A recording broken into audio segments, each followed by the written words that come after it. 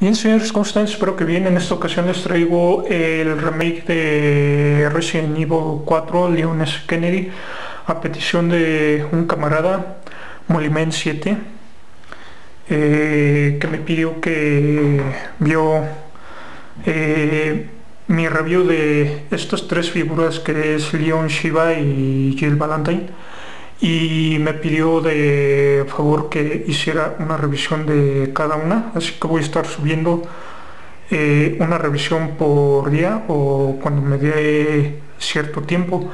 Eh, primero vamos a empezar con la caja rapidito. No me voy a poner a hacer poses porque si me lleva tiempo. Este eh, la caja pues muy sencilla.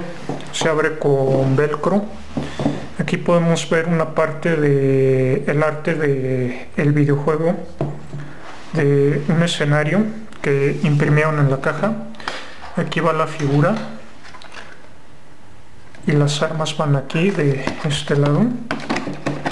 Esta es la versión RPD aquí se puede ver este la versión regular de Lyon y la versión RPD esta es la que me interesaba. Esta también está muy fregona pero me interesaba más que nada esta. Pues por ahí está Jack Krauser eh, versión regular y la de Jack Krauser. Eh, versión en transformación y el ganado Chainsaw. Eh, somos así rápido. Chequemos la figura el esculpido del el rostro está más que bien. Está muy muy fregón. Esta fue una de las primeras licencias. Bueno no no una de, de las primeras pero sí de sus primeras licencias que adquirió Hot Toys. Entonces ahí checando lo que es el rostro el esculpido muy bien dado. Para los que hayan jugado Resident Evil 4 no me dejarán mentir de que es Leon. Kennedy. Pasemos con el uniforme. Eh, la parte de enfrente RPD version eh, la parte de helado con el símbolo de los stars el escudo de los stars.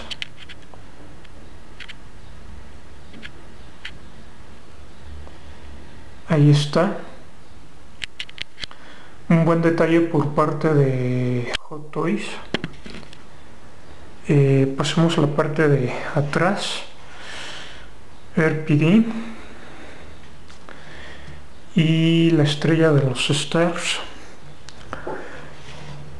viendo así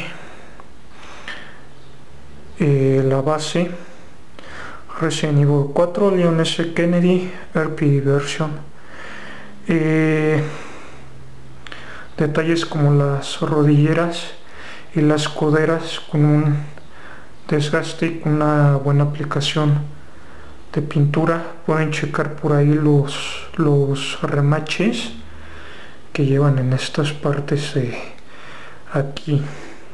En las botas también un buen trabajo no se diga. Y miren checando bien si tiene una pequeña línea.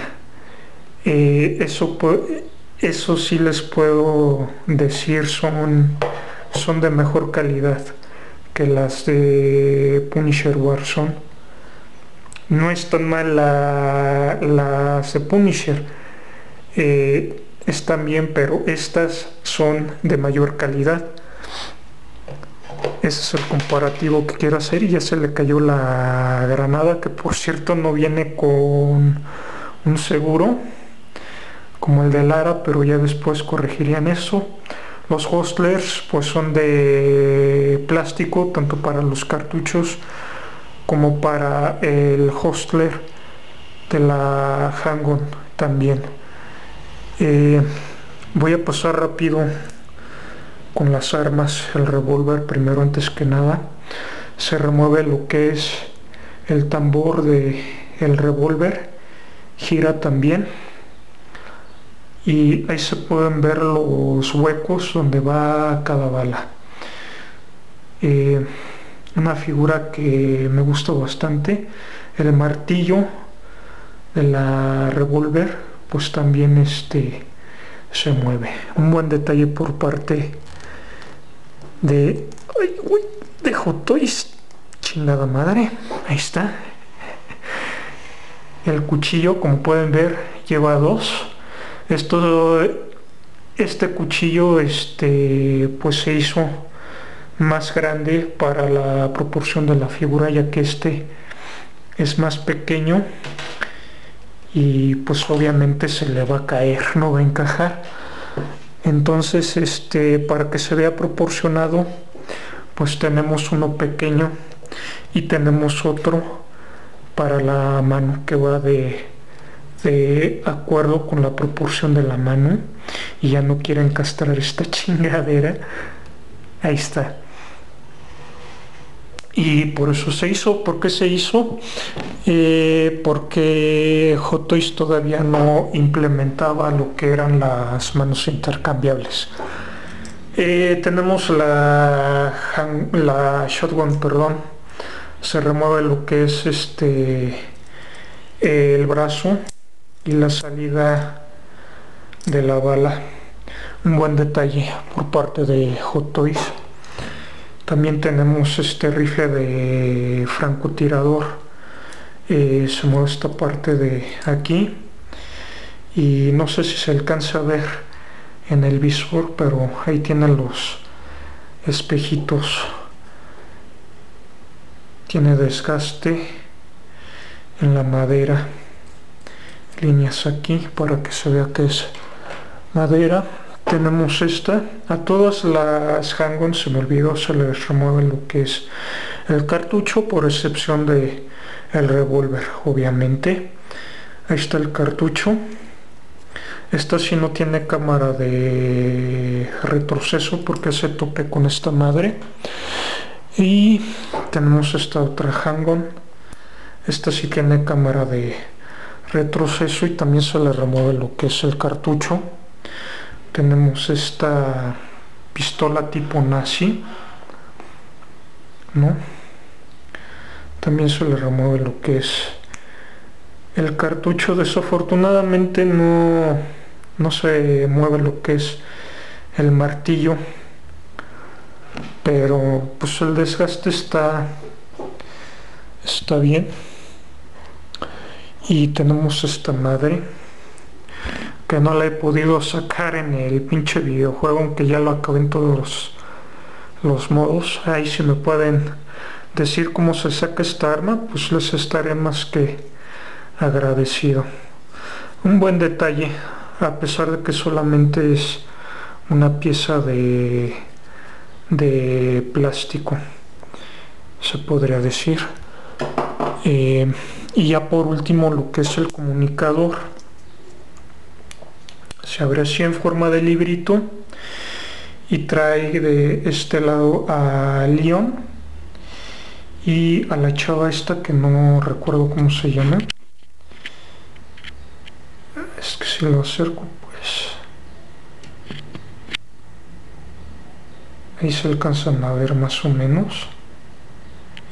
Ya llevo nueve minutos y los detalles. Eh, la figura está bien me gustó bastante.